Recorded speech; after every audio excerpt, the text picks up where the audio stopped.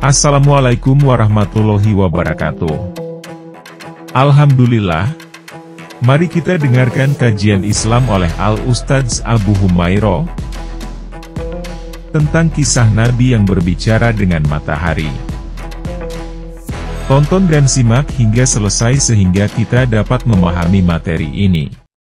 Kita masuk pada pembahasan dari surah Al-Baqarah dan kita masuk pada ayat yang ke-58. Alhamdulillah minasyaitonir rajim. Bismillahirrahmanirrahim.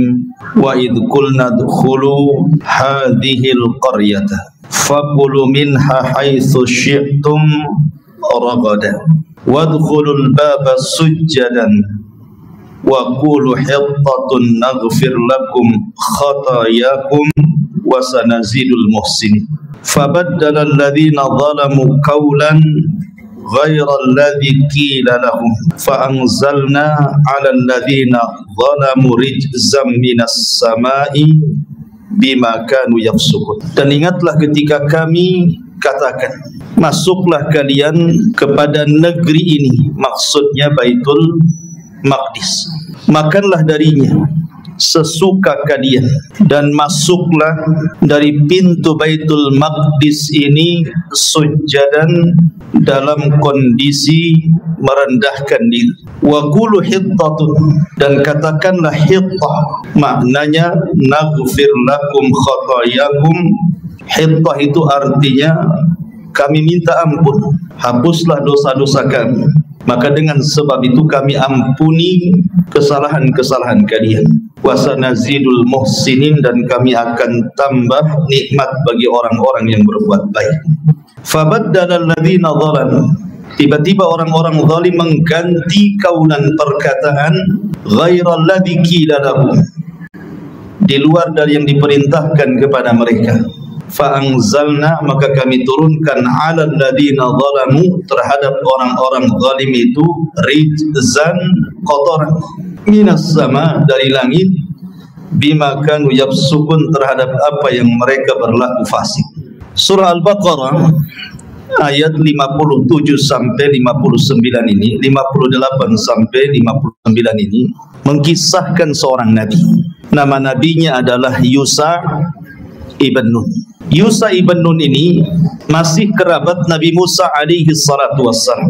Membantu Nabi Musa semasa hidup Nabi Musa ke mana saja Musa pergi. Yusa ibn Nun sampai ketika Nabi Musa alaihi salatu wassalam kemudian tiba-tiba ada orang yang mengatakan kepada Musa adakah orang yang lebih alim dari engkau wahai Musa? Maka Musa alaihi salatu wassalam mengatakan tidak ada Musa lupa mengucapkan kalimat insya Allah sebab dia lupa mengucapkan insya Allah fa'aqabahullah. Maka Allah pun berikan ujian kepada Musa. Allah mengatakan ada ada seorang nabi yang punya ilmu yang kau tidak punya maka kau harus belajar kepadanya. Yang dimaksud oleh Allah Azza wa Jal adalah Nabi Allah Khidir alaihi salam Maka Musa alaihi salatu wassalam berangkat berdua ditemani siapa? Yusa ibn Nun. Jadi Nabi Musa alaihi salatu wassalam ditemani siapa? Yusa ibn Nun. Kemudian mencari Nabi Khidir alaihi salam dengan alamat yang tidak jelas. Karena alamatnya hanya pertemuan dua lautan kemudian membawa ikan asin dan ikan asin itu akan hidup dan akan loncat. Maka kalau ikan itu hidup dan loncat ikutilah arah ikan itu kau akan mendapatkan khidir di situ. Kan susah tuh cari alamat kayak gitu itu. Gimana caranya? Nggak ada RT-nya RW-nya lurahnya camatnya kan. Sehingga tidak dijelaskan Musa itu berapa lama mencari khidir ini dengan alamat seperti ini ditemani dengan Yusa ibn tetapi kehendak Allah berjumpa pula Musa dengan Khidir. Disebut Khidir karena mukjizatnya itu bisa menghijaukan tempat yang dilewatinya. Jadi kalau ada tanah gersang, Khidir duduk di situ jadi hijau tuh. Maka disebut Khidir. Hijau artinya. Makanya sayuran itu bahasa Arabnya khadrawah. Lah Yusa ibn Nun ini selalu menemani Musa ke mana saja. Bahkan ketika kemudian Nabi Musa berhasil membawa Bani Israel dari Mesir mendekati Palestina, sudah dekat dengan Baitul Maqdis. Maka Musa alaihi salatu wasallam harus melintasi Ariha. Dan sementara Ariha itu sudah dihuni oleh orang-orang Arab keturunan kaum Ad, orang yang besar-besar dan tidak bisa masuk ke Baitul Maqdis kecuali harus berperang bersama mereka. Maka Musa memilih orang-orang pilihan untuk mengintai. Salah satunya adalah Yusa ibn Lah ketika orang-orang pilihan yang mengintai ini melihat bagaimana orang-orang Kan'aniyun yang menduduki orang kota Ariha itu besar-besar orangnya dan pasukannya kuat-kuat maka mereka pun ciut kayaknya kalau perang melawan mereka enggak mungkin. Akhirnya Musa alaihi salatu melihat ketakutan di wajah mereka. Maka Musa berwasiat jangan diceritakan di tengah-tengah pasukan Bani Israel. Mereka nanti takut. Nanti tidak mau diajak jihad. Rupanya sebagian besar mata-mata Musa membocorkan rahasia. Sampai akhirnya semua pasukan Bani Israel tahu pasukan yang dihadapi seperti apa, takutlah mereka.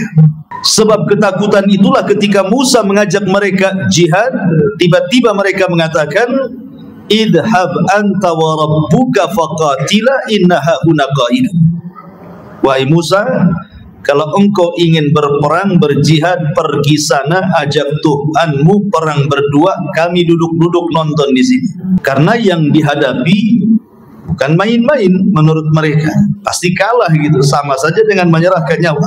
Makanya mereka mulai menentang Nabi Musa alaihi salatu wassalam padahal Musa sudah menjanjikan kemenangan itu. Dengan sebab penolakan itulah Makanya Allah Subhanahu wa taala azab Bani Israel akhirnya mereka pun tidak bisa keluar dari negeri itu selama 40 tahun. Sehingga negeri itu disebut Ardutih, negeri linglung. Tak bisa keluar dari situ di tengah-tengah padang pasir itu. Lah selama kurun waktu 40 tahun itulah Allah takdirkan Nabi Harun meninggal dunia. Kemudian disusul dengan Nabi Musa alaihi salatu wassalam meninggal dunia dan disusul dengan generasi-generasi para penakut juga meninggal dunia. Lahirlah generasi-generasi baru para pemberani. Ketika Nabi Musa sudah meninggal, barulah sadar Bani Israel berharganya Nabi Musa di hadapan mereka. Selama Musa masih hidup, selalu mereka menentang Musa. Masyurul muslimin yang dimuliakan Allah Azza wa Jal. Lah kemudian setelah Musa meninggal, Harun meninggal, generasi para pengecut meninggal, datanglah generasi baru mereka para pemberani kemudian sebagai pengganti wafatnya Musa Musa berwasiat kepada Yusa agar menggantikan kepemimpinannya. Ah dari sinilah Yusa diangkat menjadi Nabi Bani Israel setelah meninggalnya Musa dialah yang memimpin Bani Israel. Maka Yusa ibn Nun mempersiapkan pasukan besar para pemberani siap jihad dan siap mati untuk merebut Baitul Maqdis. Akhirnya kemudian Yusa mau pasukan besar, kemudian mengepung benteng musuh yang menguasai Baitul Maqdis dan tidak tanggung-tanggung pengepungan itu selama enam bulan lamanya karena bentengnya tidak bisa dijebol masalahnya. Nah setelah kemudian enam bulan Yusa ibn Nun mengepung kota itu karena ingin merebut Baitul Maqdis. Akhirnya Allah takdirkan setelah enam bulan benteng itu roboh. Terpaksa mereka harus merobohkan walaupun banyak yang mati. Setelah roboh maka mereka pun berperang dari mulai fajar sampai hampir tenggelam matahari. Masalahnya mereka merobohkan benteng itu di fajar hari Jumat. Sementara kemudian ketika matahari hampir tenggelam berarti masuk hari Sabtu. Dan orang-orang Yahudi sangat mensakralkan hari Sabtu. Bagi mereka hari Sabtu itu hari mulia, tidak boleh perang. Lihat kisah tentang Bani Israel yang melanggar di hari Sabtu apa akibatnya? Dikutuk jadi kera dan babi. Sementara ini detik-detik kemenangan itu hampir sedikit lagi mau menang. Tiba-tiba matahari hampir tenggelam, tidak mungkin diberhentikan perang. Atau pasukan Yusuf harus mundur gitu. Enam bulan ngepung benteng. Giliran mau menang, matahari pula mau tenggelam. Akhirnya Yusa ibn Nun berbicara dengan matahari. Inilah Nabi satu-satunya nabi yang berbicara dengan matahari. Kemudian Yusa mengatakan, "Ya Syamsa, innaki ma'muratun wa ana ma'mur." Wahai matahari, engkau diperintah Allah. Aku juga sama diperintah Allah. Tolong jangan tenggelam dulu. Ketika matahari mendengar perintah Nabi Yusa atas izin Allah, matahari tidak bergerak dari tempatnya. Inilah satu-satunya mukjizat para nabi yang mampu menghentikan matahari adalah Yusa ibn Itu mukjizatnya. Matahari bisa berhenti. Yang tadinya mau tenggelam gak jadi tenggelam. Dan matahari itu terus seperti itu sampai perang dimenangkan. Setelah perang dimenangkan baru tenggelam. Jadi ditunggu tuh sama matahari itu. Dan pada peperangan itu 12.000 pasukan Yusa ibn Nun gugur ketika hendak menguasai kota yang menguasai Baitul Maqdis. Maka Arihah jatuh ke tangan Bani Israel di bawah kepemimpinan Yusa ibn Nun. Padahal cita-cita menguasai Baitul Maqdis ini cita-cita para nabi. Termasuk Musa alaihi salam, termasuk Harun alaihi salam. Mereka ingin masuk ke Baitul Maqdis. Tetapi Allah takdirkan tidak kesampaian. Karena orang-orang Bani Israel pengecut tidak mau diajak jihad di zaman Nabi Musa sampai mereka diberikan ujian harus tinggal di negeri linglung dengan kesengsaraan. Lah ketika sudah menguasai Ariha, mereka tinggal masuk ke Baitul Maqdis saja.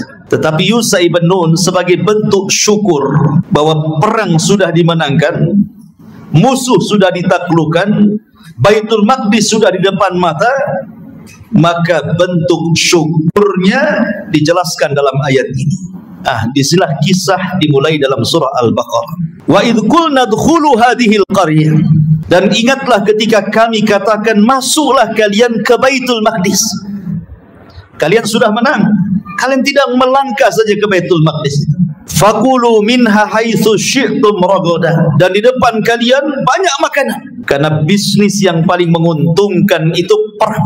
Kalau menang dapat negara, dapat tanah, dapat rumah, dapat makanan, semua dapat. Kalau menang, kalau kalah mati konyol lah. Makanya nikmat Allah harta rampasan orang di mana-mana. Budak di mana-mana, rizki banyak di mana-mana. Makanya Allah mengatakan fakulu minha. Kau sudah 40 tahun kelaparan di bumi linglung. Ah, sekarang semua ada di depan kalian. Fakulu minha. Makan, makan. Haitsu syi'tum Terserah kalian mau waktu kapan saja. Kalian diberikan nikmat di hadapan kalian terbentang rizki Allah Subhanahu wa taala. Tapi syaratnya dua. Yusa ibn Nun meminta dua syarat. Bersyukur kepada Allah Subhanahu wa taala secara perbuatan dan bersyukur kepada Allah secara ucapan. Adapun secara perbuatan wadkhulul baba sujjadan. Masuk ke negeri itu sujjadan dengan kondisi sujud. Maksudnya sujud di sini bukan sujud. Cemana sujud memerangkak? Maksudnya di sini merendahkan diri dengan menundukkan kepala. Karena bersyukur kan disuruh menundukkan kepala mereka. Bersyukur kepada Allah Azza wa Jalla di hadapan mereka Baitul Maqdis dan rizki yang banyak. Ini secara perbuatan. Adapun ucapan wa qulu ucapkan hittah Arti hittah itu khutta anna khatayana. Ya Allah ampunilah dosa dan kesalahan kami. Cukup mengucapkan kalimat itu maka Allah akan ampuni semua dosanya. Jadi mereka menundukkan pandangan kemudian mengucapkan satu kalimat yang bisa menghapuskan semua kesalahan mereka. Karena kalau mereka mengatakan hittah apa kata Allah? Naghfir lakum khatayakum. Kami ampuni kesalahan kalian wasanazidul muhsin kami tambah nikmat orang-orang berbuat baik itu tapi apa kelakuan Bani Israel bukannya menundukkan kepala sebagai bentuk tawaduk mereka malah mereka menung apa namanya uh, berjalan dengan cara mundur cara nungging atau menungging pantatnya dari depan Ya, harusnya ke sini malah ke sini. Jadi Baitul Maqdis ditunggingi sama dia. Kemudian kurang ajarnya lagi, mereka tidak mau mengatakan hittah tetapi mereka ganti dengan menggunakan titik. Hittah jadi hintah gitu. Istihza kepada Yusa ibn Apa bedanya hittah dengan hintah? Kalau hintah, ya Allah ampuni dosa kami. Kalau hintah, ya Allah berikan makan kepada kami. Minta makan. Disuruh minta ampun, minta makan. Kurang ajar. Disuruh berjalan ke depan dengan menunduk, malah menunggi. Disuruh mengatakan hintah, malah hintah. Itulah Bani Israel. Makanya mereka tidak pernah diampuni dosa-dosanya dan tidak pernah ditambah nikmatnya. Apa yang terjadi?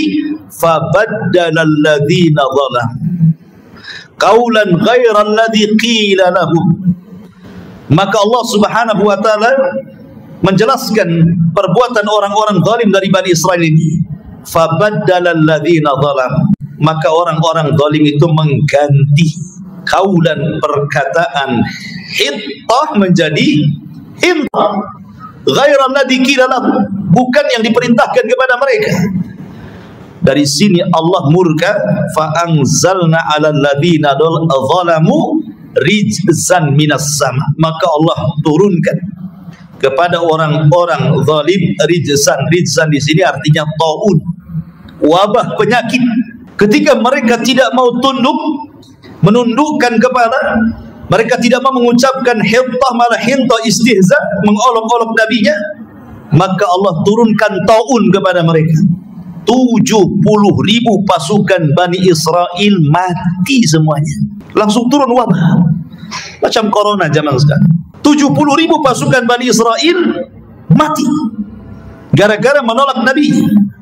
Makanya Allah mengatakan bima kanu yafsukun. Pantas mereka mendapatkan taun karena mereka berlaku fasik kepada Nabi. Akhirnya kemudian Bani Israel pun yang masih tersisa hidup mereka bertobat kepada Allah Subhanahu wa taala. Akhirnya mereka pun dilanda sesuatu yang menghinakan mereka selama mereka tinggal di Palestina. Bertahun-tahun mereka tinggal di Palestina, akhirnya berpecah belah.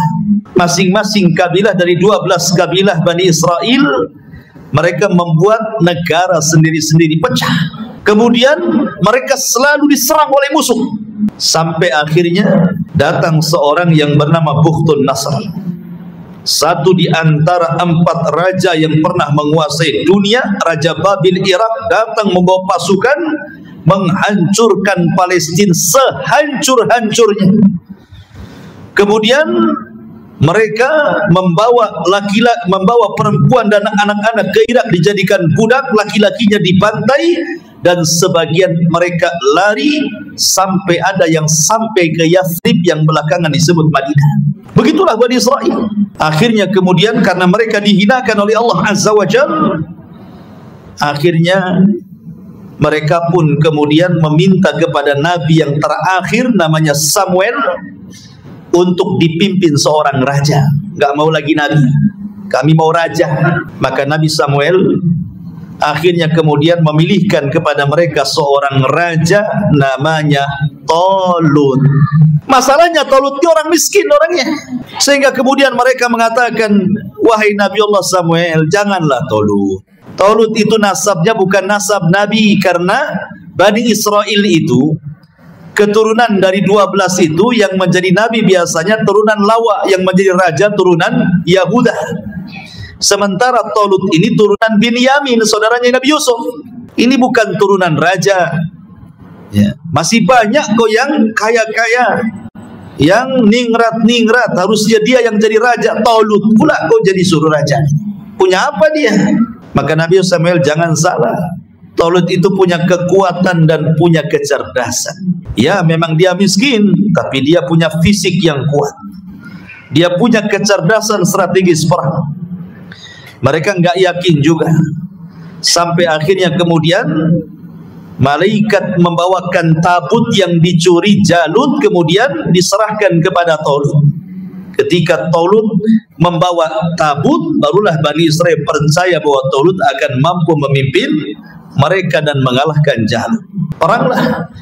dan Allah menangkan Tolut melawan Jalut dengan seorang anak muda yang ketika itu berduel dengan Jalut pasukan yang paling muda namanya Dawud itu pun diiming-imingi siapa yang bisa membunuh Jalut dia akan menikah dengan putriku dan akan mewarisi tahta kekuasaan.